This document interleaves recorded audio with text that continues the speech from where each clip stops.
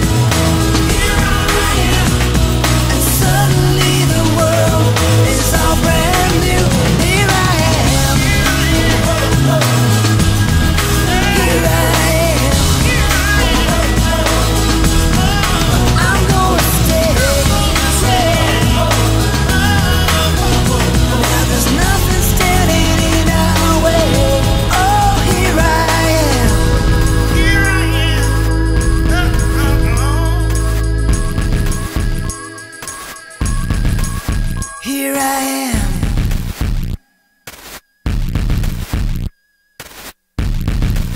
This is me.